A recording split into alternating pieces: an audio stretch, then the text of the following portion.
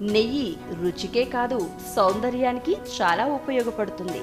దీనిలో ఉండే ప్యాటీ యాసిడ్లు చర్మం జుట్టు ఆరోగ్యానికి బాగా సహకరిస్తాయి. నెయ్యిని వేడి చేసి చల్లారాక ముఖానికి రాసుకుని మర్దన చేయాలి. కొన్ని నిమిషాల తర్వాత సబ్బుతో ముఖం కడుక్కోవాలి. ఇలా చేయడం వల్ల చర్మం పొడిబారడం తగ్గుతుంది. నెయ్యి నీళ్ళు రెండింటిని సమభాగాలుగా తీసుకుని బాగా కలపాలి.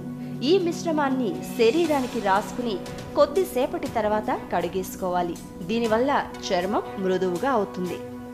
పచ్చి పాలల్లో కొన్ని చుక్కలు నెయ్యి కలిపి చర్మానికి రాసుకుని కొద్దిసేపటి తర్వాత కడిగేయాలి. ఇలా వారానికి రెండుసార్లు చేస్తే చర్మం కాంతివంతంగా మెరుస్తుంది.